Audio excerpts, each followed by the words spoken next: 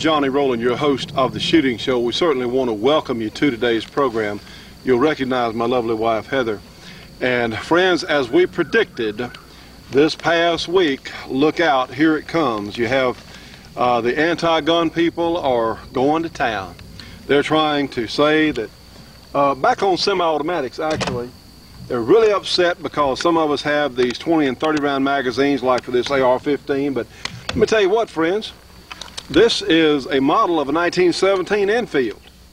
And they came with 10 round magazines. This one's a little different. We'll talk about a little later in the program today. But, you know, uh, guns have been around since the mid 1800s uh, that carried 10, 12, even 16, 17 rounds in the gun. What is their problem? We understand what the problem is, but right now we're seeing a whole new uh, gathering of anti gun attacks on us as gun owners. Now look, it's coming. For example, put this gun down. In the newspaper uh, today here in Louisiana, we have a picture here of none other than Dianne Feinstein with an AK-47, which none of us had AK-47s. We had MAK-90s. What does she know about AK-47s? Well, I tell you what. Here's most importantly what she wants. Uh, what she does know is she knows she doesn't want us to have repeating firearms or firearms of any kind. But Ms. Feinstein there, the uh, illustrious senator from California, uh, was instrumental in getting the uh, magazine bans, higher capacity magazines. See, we can't buy a new gun with a new magazine mm -hmm. of over 10 rounds. And that's just a stopping point, friends. That was only a rest stop for them. What they did was they wanted us to get used to a limited magazine capacity. So then they're going to come back and say, hey, well, you know, 10's too many. How about two or three or four brick or by, one? Brick by brick. Brick, brick by brick by brick. Now, friends, you know, we are indeed very sorry for what happened in Jonesboro, Arkansas. You know, but in order to control everybody all the time, you're going to have to lock everybody up, put a chain around them. Uh, uh, you're going to have to put them in solitary confinement if you want the ultimate control. And they will do that if they take away our weapons. Well, well said, dear, because this is what the New World Order That's people exactly what have want. in mind. This is what they want. Now, you know, last week in Jonesboro, Arkansas, there were five people, innocent people, that were brutally murdered by a 13-year-old boy with his accomplice who's 11 hey, you know, and we're going to go about setting, well, uh, what caused this? Uh, were they mistreated by their parents or whatever else? Or we need to understand, hey, friends, you cannot understand some brutality. There is no explanation, none whatsoever for what those ignorant little kids did. You know, there are bad children. There are people that make horrible mistakes. And, you know, we just have to deal with that we have to realize there is always going to be someone out there, there's always going to be somebody who will do something terrible at some point. But, you know, in order to stop any possible uh, incident like that, you're going to have to lock everybody up. And these people want, all right, we lost five people, innocent people at that school. But you know what, friends? At the same time, during last week, do you know that guns were used 50,000 times last week, mostly without ever being fired. They were used 50,000 times to stop crime and protect their owners. Right. I'm sorry we lost five. I'm sorry about that. But at the same time, people who used firearms properly, 50,000 per week is how often guns are used over two and a half million times a year to stop crime, to preserve their safety, to stop a brutal incident, to stop someone from being killed 50,000 times last week and again this week and it'll be again next week.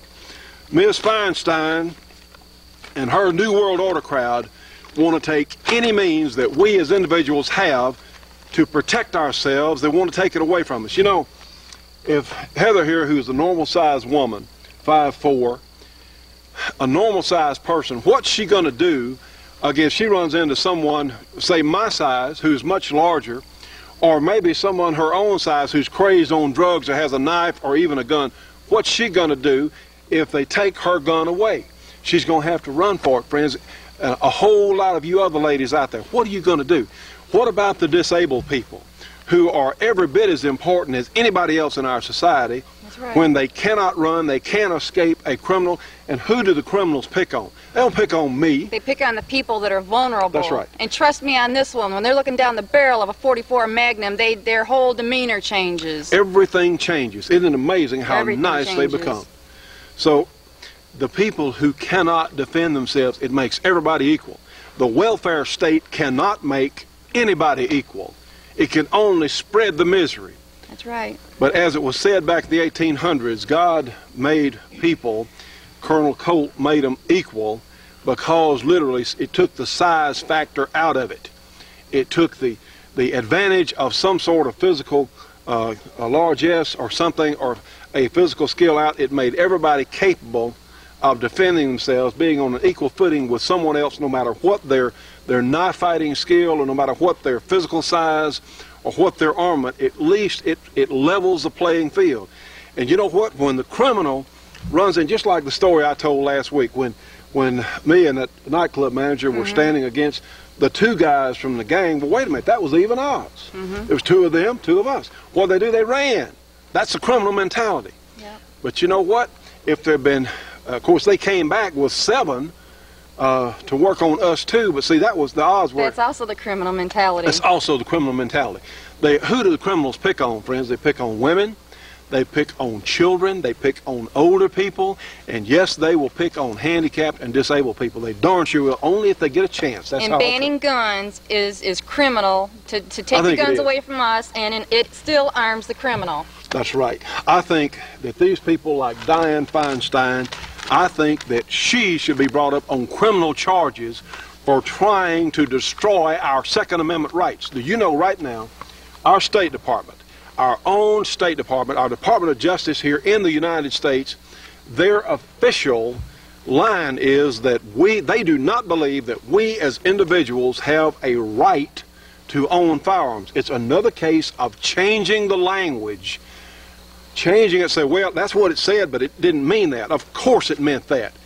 You know, somewhere 200 years ago it was written that water is wet, and they're saying, no, it didn't really mean that. Yeah. They're saying that we as individual citizens and friends, they are wrong, they're liars, and they should be brought up on criminal charges.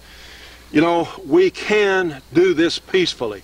We can turn this train wreck around, but it's going to take all of us doing it. Now, friends, we have been here all this time. Almost all the time, our programs run at a loss. And thanks to you, good people out there, you have helped us stay on the air. You know, I hate to ask for help. That's been something that has galled me from the time we've had to do it. But we have to have your help if you want if you want gun TV with the truth about firearms, and unfortunately, and I'm sorry about this, you cannot get the truth about what's happening with guns with our legislation. You can't get it anywhere else on television. I'm sorry about that. I wish there were more places. I wish there were more people who had the courage to stand up and tell the truth. I wish we did. Maybe we will later on. Maybe we will. Right now, we don't. Not right now. The gun owning organizations, the NRA, they're fighting among themselves, and I hope they get it worked out. I really hope they do. A lot of these folks who we'd think would come in and help, they, you know, they're too busy uh, catching their own fish. I don't know what they're, you know, I don't know. Well, but they're making enough hap- enough money, so they're happy. Woo, well, uh, that could be the case. That's right. You know, uh, some of those folks in those uh, in those organizations that have those cushy jobs uh, and have those expense accounts, it's like, well, uh, let's just compromise away. Don't worry about nothing. Hey, we shouldn't have to compromise our gun rights. We shouldn't have to compromise our freedom of speech. We shouldn't have to compromise the other things that were granted in the Constitution and in the Bill of Rights. We shouldn't have to, friends. If you want to see us stay on the air, if you want to see us continue, please, from the comfort of your own home, please, please send whatever you can to the shooting show, 327 Irvin Roland Road in Dubberly, Louisiana. The zip code is 71024. Please, friends, we are struggling. We have hopes, uh, some light in the tunnel, but it's not here now. And if we can't stay on the air, it'll never get here. So please, whatever you can do. And yeah, it does gall me having to ask for help, but doggone Yeah, it, we have to. We can't do it by ourselves. We don't have an expense account. We have expenses every week for editing this show and from putting it on the air. It runs into It is a lot very of money. expensive. Yes, it is very expensive. And please, friends, uh, our sponsors that you see on the program, please support them because they're trying to. They believe the people that you see. In fact, uh, the other day I was listening to a head of one of the largest gun companies, not in the United States, in the world. It's located here in America. One of the largest gun companies, the president, was on a radio show, which shall go unnamed.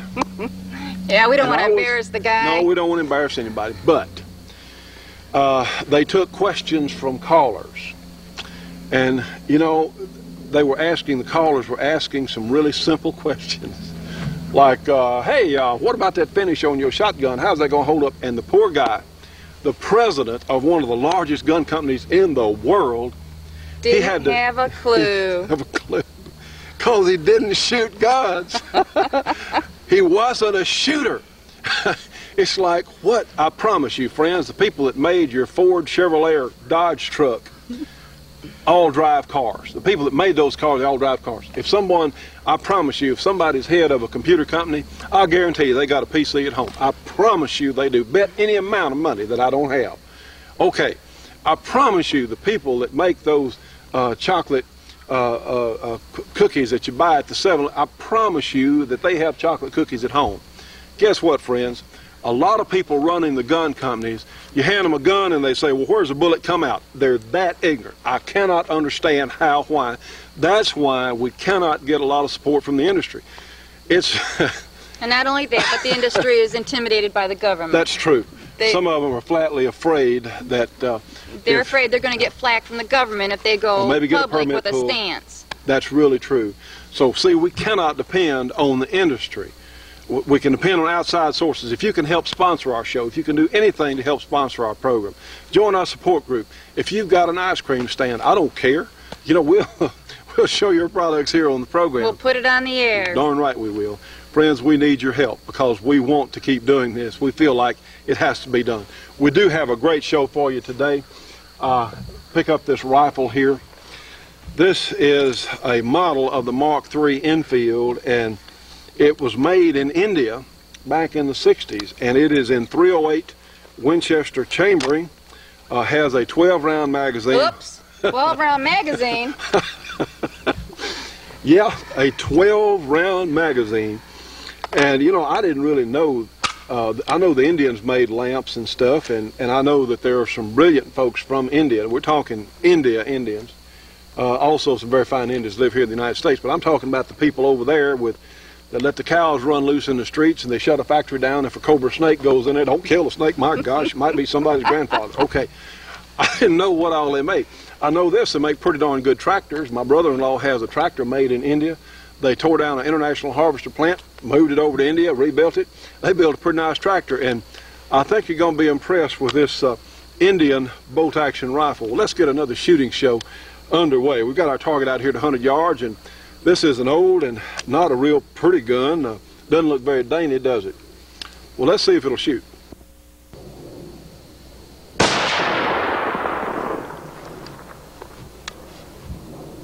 Stay tuned for more of the shooting show after these important messages. The Shooting Show will be right back after this break for your local cable company or TV station.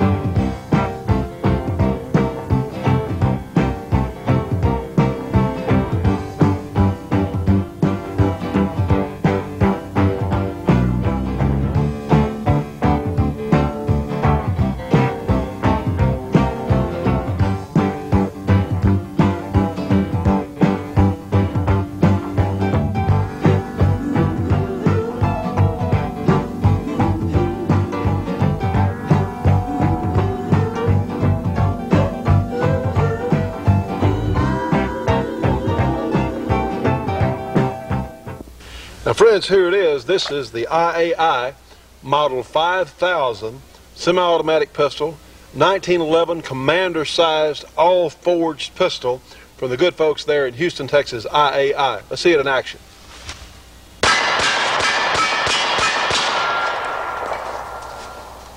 Friends, here it is up close. This is the same gun you have seen on the program from Israel Arms International under the Gall name, but what they want to do is make something a little easier to say, uh, so we have a more Americanized name. You can see all the special features this gun has. The forward serrations on the slide, easy to see uh, front sight that won't come out, easy to see three dot sights, the custom finger groove grip, the uh, beaver tail grip safety with uh, the extension here, uh, so you'll be sure and get a proper grip so the gun will fire. Uh, all kinds of extras we would not normally expect to see on a service type gun. A, an extended magazine release here, a lightweight trigger, uh, serrations on the trigger guard for those who prefer to shoot like so. Uh, it's really going to keep the gun from walking around there in your hand. You have an extended slide stop, an extended safety. Really terrific guns, all forging uh, from the good people at IAI in Houston, Texas. These are commander-sized semi-automatic pistols with all the bells and whistles at some fantastic pricing. Friends, these guns are going to retail under $500. Let's see it in action. All 1911 parts will interchange.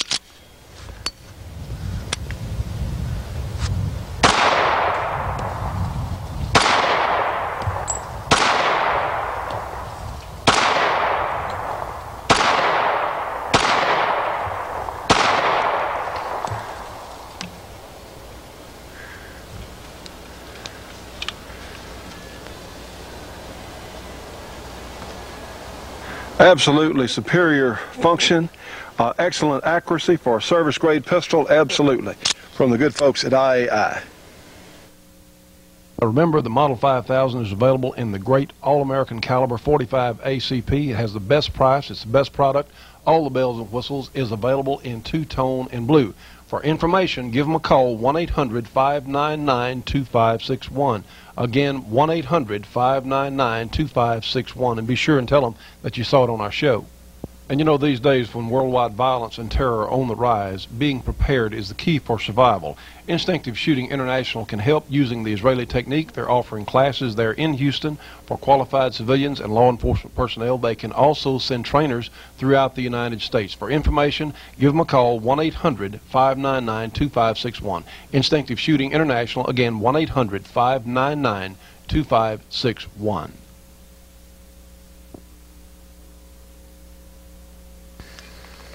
Now, friends, looking, Heather is holding this Enfield rifle, and many of us remember them as being a British gun. Well, you know, India was ruled by uh, Great Britain for many years, and you can see, those of you who are familiar with the Enfield, see the standard features, the Mark III. We have the uh, protected front sights, and of course the bayonet lug, and then you have wood on both uh, sides of the barrel, top and bottom. You have some sights. I believe those go up to about 800 meters as far as how they're graduated in adjustment. We have a 12 round magazine and a standard uh, Enfield bolt uh, that we're used to seeing. The, the bolt handle turned down uh, like the English were fond of doing there and you'll see on the top uh, it allows for stripper clips to be used and of course the magazine release is right there inside the uh, trigger guard right ahead of the trigger and the uh, classic Enfield type stock. And this, it looks like it has an aluminum butt plate on it, uh, not a very, uh, shall we say, recoil friendly butt plate, but the gun is heavy enough, it really doesn't make a lot of difference. Quite a package. These guns are, are coming back into the United States now. They were made in the 1960s in India, and I don't know why they chose to make a bolt action rifle as late as the 60s, but uh, it, it's an impressive piece of work. Now, honestly, friends, when uh, uh, I saw this gun, I was over. In fact, this gun belongs to our friends at Clark Custom Guns there in Princeton, Louisiana.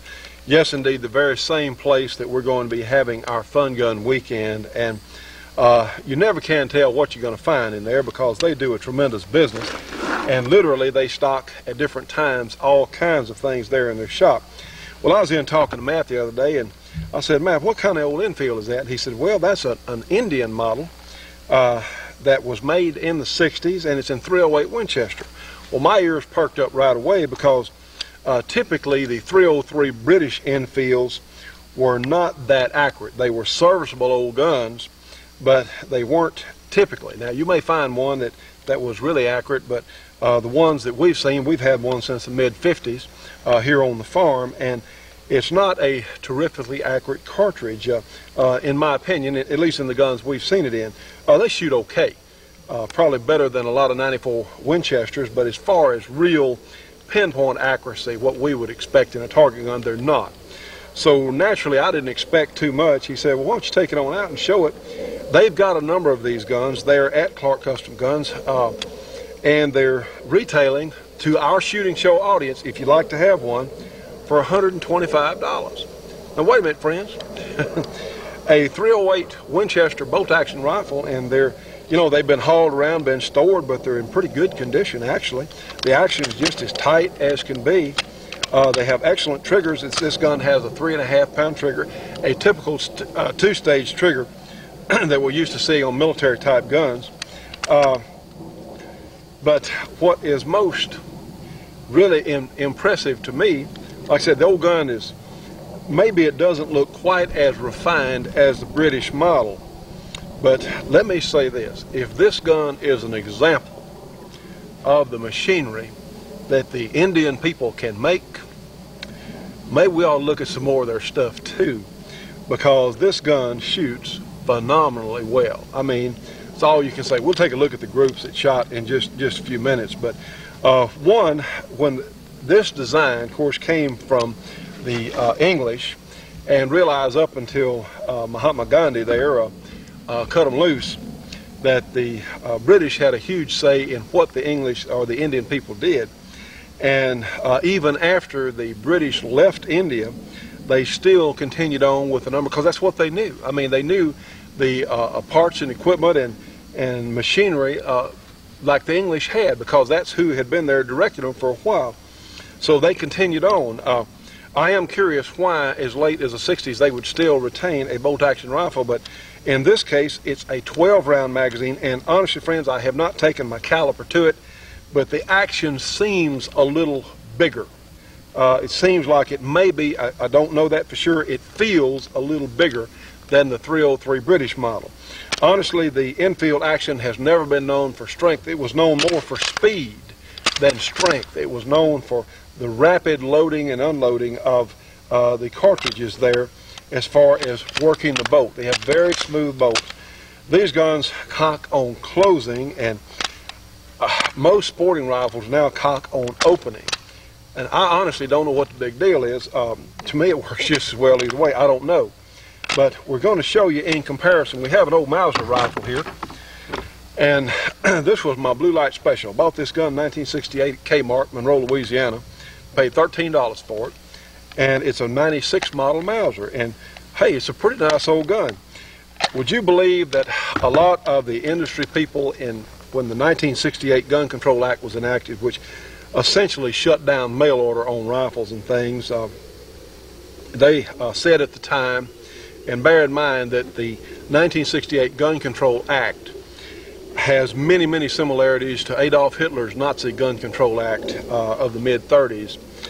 And their idea was that, well, they thought that Lee Harvey Oswald had shot John Kennedy and he had used a what was probably a mail order rifle well, you know, friends, uh, Lee Harvey Oswald, if he did it, he had access to all kinds of guns. He could have gotten a, in fact, the, the, we probably will never know the truth on that, but using the junk rifle that he had, the uh, Carcano Italian model, which uh, they weren't too good when they were brand new, and certainly uh, years later, uh, his feat of marksmanship is quite remarkable. And of course, we'll probably never know the truth on that. I don't know if we'll ever know who shot John Kennedy. But anyway, again, guns were made as part of the scapegoat, standard old anti-gun line.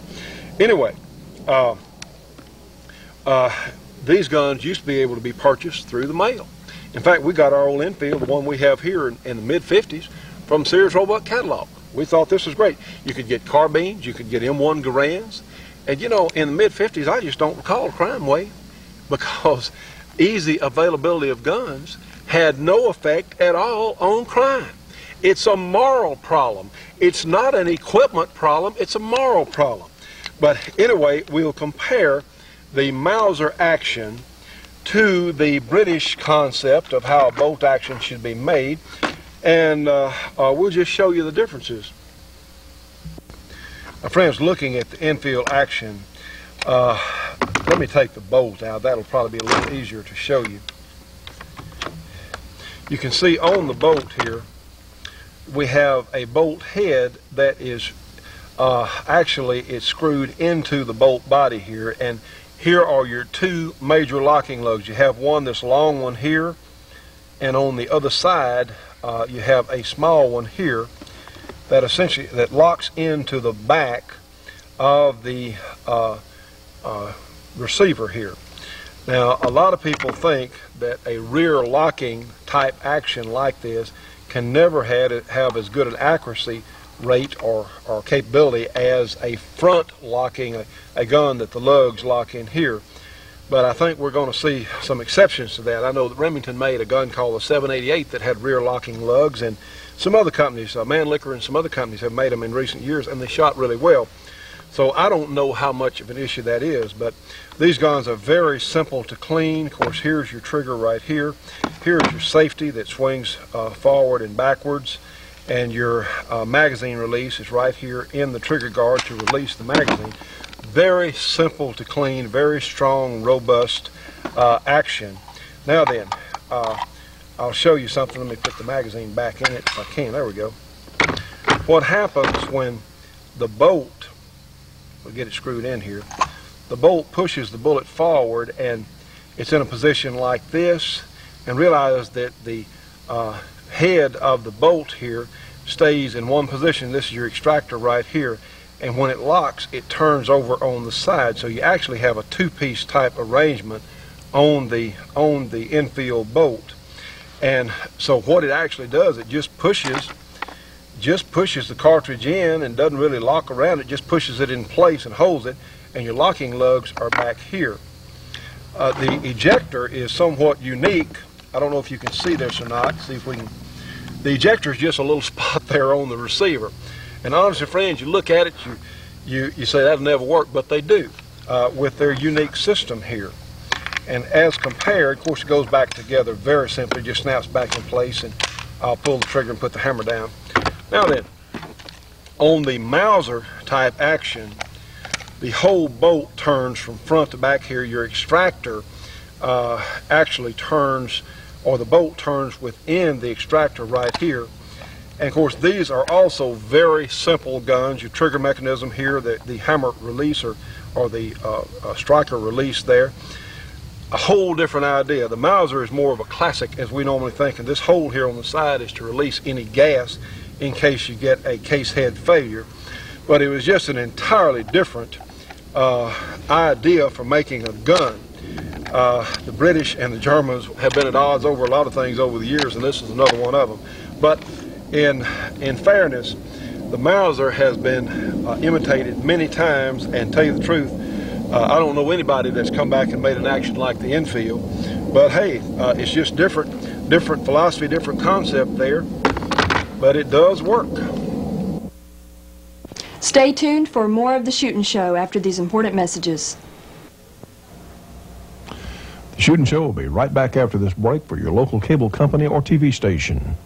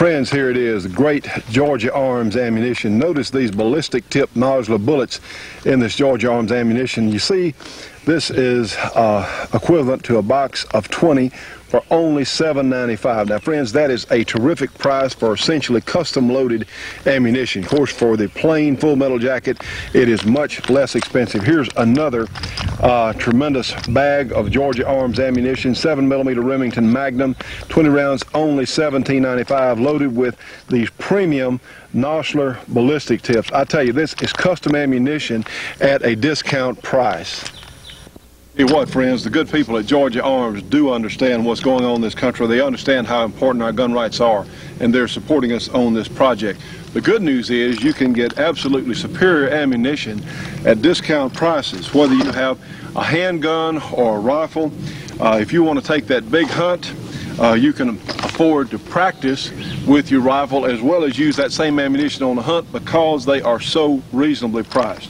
These are some of the nicest people we have ever met in this business, bar none, and they're down in beautiful Villa Rica, Georgia. So please, friends, if you would, you can get a free catalog with a free phone call. That's as good as the deal gets. A free catalog, free phone call, 1-800-624-6861. Again, Georgia Arms, 1-800-624-6861. And please tell them you saw it here on our shooting show. Now, friends, I want to emphasize we need to store some ammunition in advance of when we might need it. And who the heck knows uh, what may be coming down the pike as far as regulation. Ammunition may get very difficult to buy at some point, even in the near future. We flatly don't know. But you can help yourself by buying this great Georgia Arms ammunition at the discount house prices they have. I don't see how they do it, but they do. You can get a free catalog with a free phone call. You remember our 41 Magnum Defense Special Load is now available from Georgia Arms. It makes your 41 Magnum much easier to shoot. It will be a much better defense load in the 41 Magnum than has been available in the past. Also, we want to remind you in the next month or two, we're going to have the 45 double action Colt uh, brass available and loaded ammunition. That's something new that's coming that the good folks at Georgia Arms have worked up here with us here at the program. So please, friends, give them a call. 1-800-624-6861 and please friends tell them you saw it on our program. Now friends we have several kinds of ammunition on hand today. We have some Chinese surplus. Uh, the Chinese actually made quite a few 308 rifles. They made uh, M14s uh, that they sent all around the world so they could take advantage of the United States service, uh, United States Army supply. They have equipped guerrilla forces all over the world with M14s, and they make a pretty nice uh, uh 308 uh, round, actually. Uh, and some guns they shoot real well. It was not this gun's favorite, but still shot okay. In fact, with Chinese 308 ammunition, uh, it shot about as well as a pretty good 94 Winchester. We also have some Remington uh, soft nose sporting ammunition. I wish we had some Georgia Arms ammunition because in 308 we don't have any today because I really would like to see what the gun would do. We've had such a superior luck with, with accuracy on theirs, but we have some surplus uh, FNM, and maybe that's uh, the folks FN, I don't know. I don't know where it's from, but it doesn't look all that great, but we'll show you how it shoots in just a minute. The thing about the Enfield, we'll do a little, a little shooting here. Uh, and the gun's heavy enough and muzzle heavy enough that it doesn't pound your shoulder so badly. Go ahead and, uh, here we go, and load the gun. We'll take several fairly rapid shots here and see how it looks. Our safety's off. So you can, uh, due to that action working uh, like it does, uh, you can shoot it pretty fast. And even though the sights on these things are pretty rudimentary, friends, but uh, you can get used to them. That's what the uh, all the guns back, the military type rifles had pretty crude sights. Most of them did in the earlier parts of this century. Only in more recent times, on most military guns, have we really uh, gotten some pretty decent sights. But uh, these guns, I don't really know what they were supposed to shoot as far as group size. An old gun like this was, is a real battle rifle. It's a full-powered cartridge. The 308 Winchester runs a 150 grain bullet about 2,700 feet per second. which is about 100 feet or so behind the great 30-06, which was our military cartridge for many years. And the 308 will function in shorter actions uh, than the 30-06 will. So you have a few advantages there for the 308 in certain types of guns. Probably the Indians made uh, this one in a magazine, the rimless cartridge, uh, like the 308, functions better than a rimmed 303, which is a pretty good trick getting the 303 to function anyway.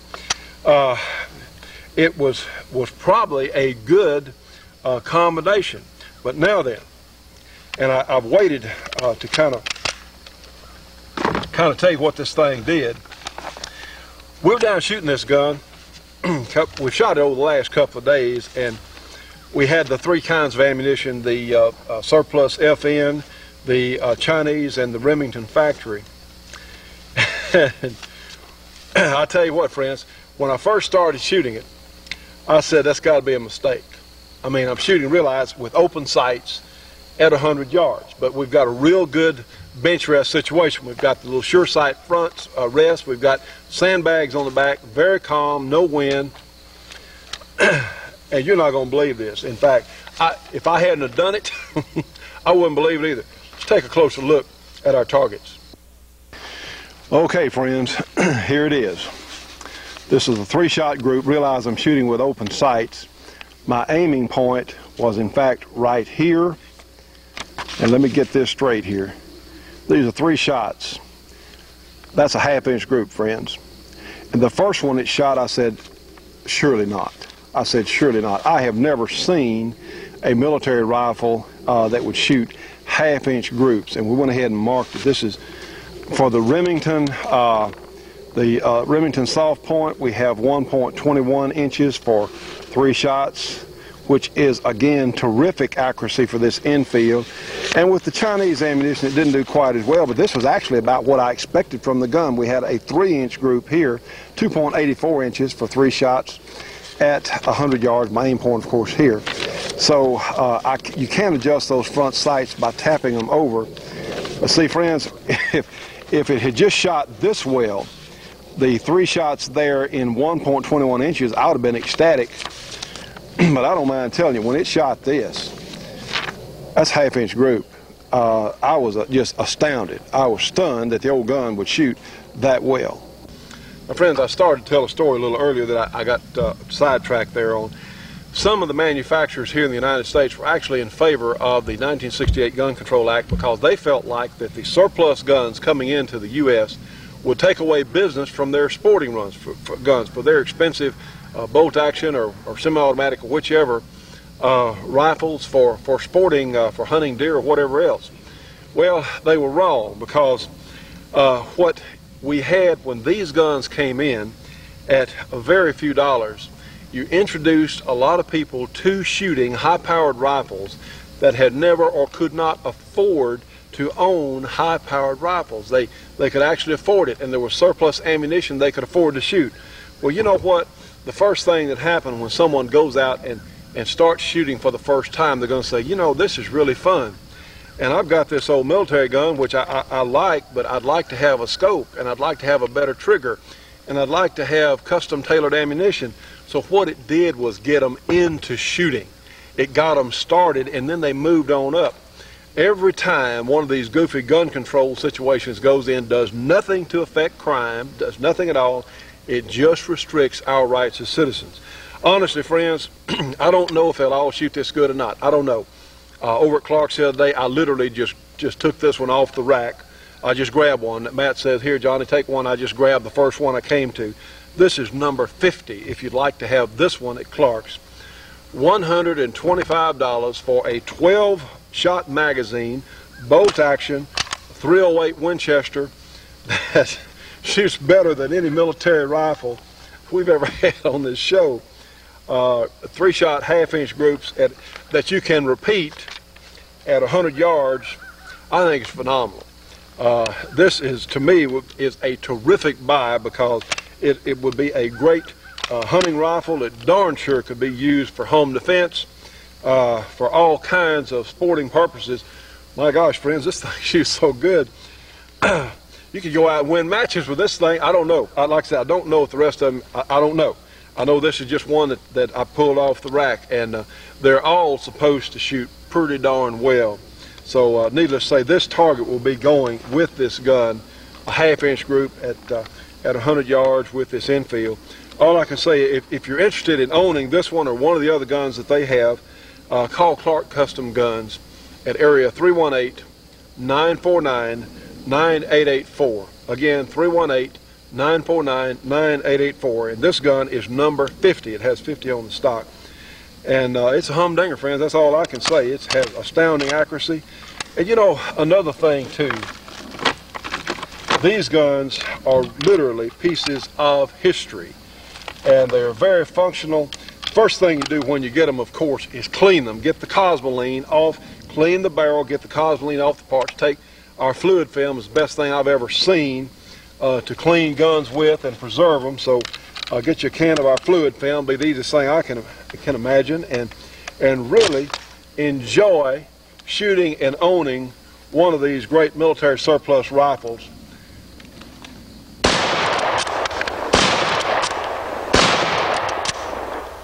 It's a lot of fun.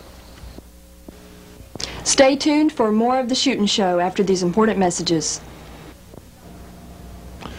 The shooting show will be right back after this break for your local cable company or TV station.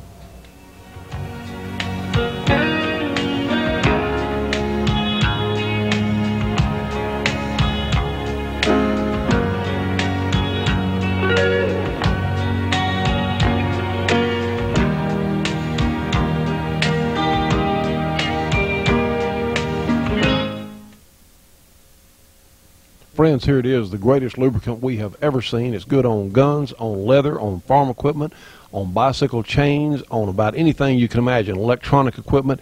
You can even use it at the end of the day as hand cleaner. It has lanolin in it. It's even good for your hands. You can get two large cans from us here at the show for only $19.95. Those are 11 and 3 quarter ounce cans from the Shooting Show, 327 Irvin Roland Road, Dubberly, Louisiana. The zip code is 71024. Order today.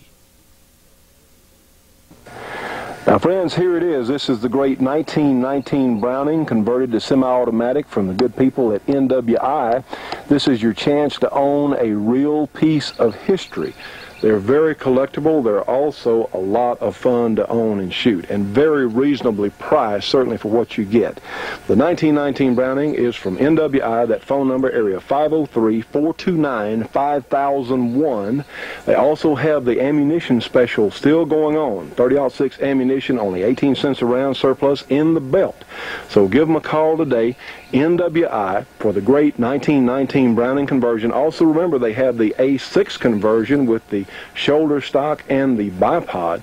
But these are tremendous pieces of, of history, also great shooters. So give them a call today, the 1919 Browning from NWI, uh, area 503 429 5001. And friends, we want to remind you it's now available in 50 Browning caliber. Uh, it's just a larger version of the gun you're seeing here, the great Browning conversion to semi-automatic of the machine gun. Uh, you can get ammunition through uh, Tim at NWI at special prices, discount prices. Trust me, friends, these guns will not be available forever. You can make your favorite anti-gun person absolutely go out of their mind by purchasing one of these on your lawn. I promise you that. So give NWI a call today, area 503-429-5001, and please tell them you saw it on our show.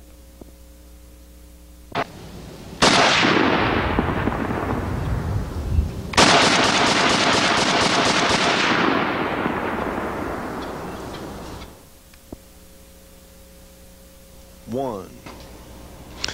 Well, ladies and gentlemen, we hope you're enjoying our program. I'm here, of course, with my good friend Leroy Scott, the good judge. Uh, I tell you what, you know, we need more good judges. Uh, you know, this woman, uh, this federal judge in Arkansas, has now thrown out the Paula Jones case.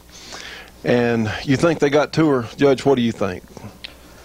Well, I'm not going to accuse any judge of having been gotten to, but uh, uh, that's going up on appeal anyhow. I mean, there's not going to be any. That's not going to be a district court decision. Well, the good news is, of course, friends, that Paula Jones, uh, we don't know what her outcome is going to be, but she has done this. That little lady from Arkansas has managed to roadblock or tie up the Clinton administration has given them some new things to worry about or some different things that that at least has has slowed their progress on some of the other issues like like firearms. Wouldn't you agree? Well, I don't know if they've slowed anything on that because it seems to me like they've got a half a dozen people working full time to try to stifle the rights of people to keep and bear arms. Well, that's an awfully good point, Judge. At least they've had Slick himself somewhat tied up. Friends, here we are today, and it is a very difficult time. We need to ask for your help, and occasionally things really get difficult. They have over these years, and we're in another very difficult period. There's so much that needs to be done. You know, the reason that the anti-gun people work so hard against our project, against this program, is because they see us as a real threat. My gosh, we're spreading the truth. And you know, Judge, to a, to a lying, deceitful, freedom-robbing liberal, anti-gun person, you know, the truth is the deadliest thing they can face, isn't it? That was a pretty broad statement, but I, th- I would concur in it. well, it's only true, friends. You know, this is our eighth year on the air, and many times I tell you, I, I really can't tell you how we're here, but we are. We need your help to continue.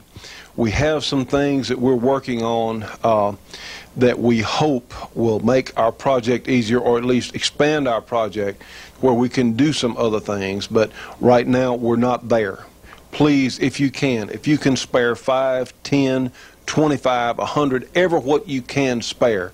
We wish that someone could come forward with, with a few thousand dollars and help this project because there is so much left to be done here on our pro-gun issue honestly, friends, this fight is not going away. It is not going to stop. It is not going away. We have to go on with this battle.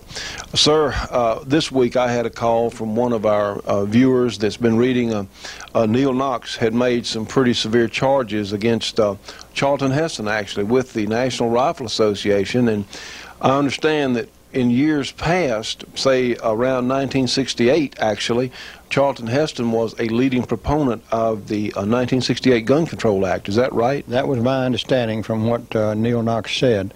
Um, I had that uh, that issue, of Shotgun News, but my lovely wife has discarded relieved you, relieved you of it, but still, you read it. And yes, I think? read it.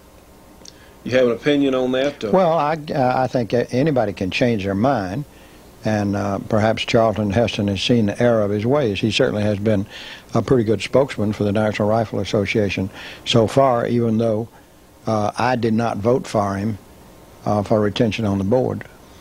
Well, uh, friends, the NRA is really in a, a, a state of flux right now. And we hope that they can work their deal out. We hope so because you know what? We need the NRA. We need Gun Owners of America. We need the Second Amendment Foundation. And you know, we need the shooting show on the air because this information that we give you folks about what's going on. Someone said, well, a while back, said, well, Johnny said, if you could just get politics off your show, it'd be a lot easier to get sponsors. Hey, friends, somebody has got to tell the political position. Someone has got to tell you the truth about what's going on with this legislation. Right now, we've got some correspondence that came from the government on stating their position on how they don't believe that we as citizens have rights to own guns. Now wait a minute. This is what this is their attitude. So you know what what their staff of attorneys does. Their staff of of uh, uh, people in the bureau uh, up there in Washington. They're working to relieve us of our guns. We are so sorry about that uh, tragedy in Jonesboro, Arkansas. But as we said earlier in the show today, we had five people that were innocent that were brutally murdered. They weren't murdered by the gun, they were murdered by those kids. The gun was just a tool, just an, a, a machine that they used to murder those people. But you know what, friends? Last week, guns were used over 50,000 times to avert crime, to keep someone from being injured, to save someone's wife or mother from being raped to protect the home, the safety of a family, to protect citizens all over this United States, over 50,000 times. But you know, Judge, I see where the media forgot to mention that. Of course, they forgot to mention it because that's not part of the media agenda. Well, friends, that's why we're here today, is to tell the truth about why firearms are in American society and the benefits that we as gun owners have. Not just us, the rest of society, because we as gun owners who are shooters, who are responsible citizens, can protect our neighbors when the time comes. It's happened, happens all the time. Friends, if you want to see us continue on television, this is no joke. If you want to see us continue with the shooting show, please, if you can, please contribute to our program, if you can. You know, we have less than one hundredth of 1% of our viewing audience that actually does contribute to keeping us on the air. That's not very many people out there paying, helping pay the freight for everyone watching. And please, friends, if you can, send to the shooting show, 327 Irvin Roland Road in Dubberly, Louisiana. The zip code is 71024. If you can join our support group or help sponsor, or you know someone that will help sponsor our program, put them in touch with us. Our phone number is 318-377-5189. This is a fight. Hey, you know, we've been here eight years, Judge. My goodness, this is in, we're in our eighth year, and there have been so many times, week to week to week, I didn't know if we were going to have a show or not. I'd come to your office and Judge, I don't know. How many times have I been over and said that? I, I've lost count, Johnny. but it's true, friends, but we're still here. And we're making progress every week we can stay on. We're reaching more people with the truth about what this is about. You know, we're not ready to give up. My goodness. Please, whatever you can do, if you can help us stay on the air, please, please, we need your help. Uh, anything political, uh, anything uh, uh that we need to know about on today's program, Judge? Well, you handed me all this stuff uh, a few minutes ago. This is uh, the official Justice Department position per one James S. Reynolds, Chief of the Terrorism and Violent Crime Section, in which he responds to an inquiry and and logic, incidentally. He says ultimately, however, it's the U.S. Supreme Court that decides what words mean, and that's true. That's true. But uh, uh, in the United States versus Miller, which he cites as uh, as saying the Second Amendment does not confer on individual right to own firearms, uh, is not true.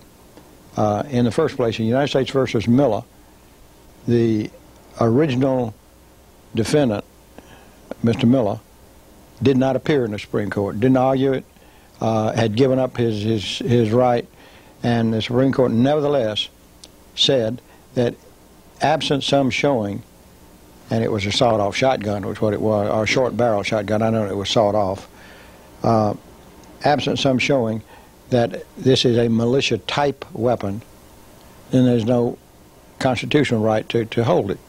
Well,